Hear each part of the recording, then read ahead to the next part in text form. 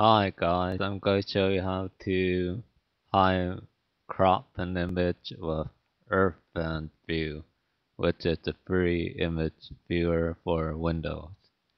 You use your mouse to draw a square over the image you want to highlight and crop. And you can adjust the edges to make it smaller. Then you go to edit in the file menu and crop selection. And you could crop it more if you want to.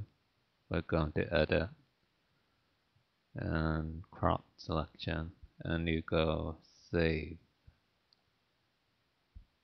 and save yes so this is how you crop an image with uh, Earthband View for Windows. So thanks for watching and bye.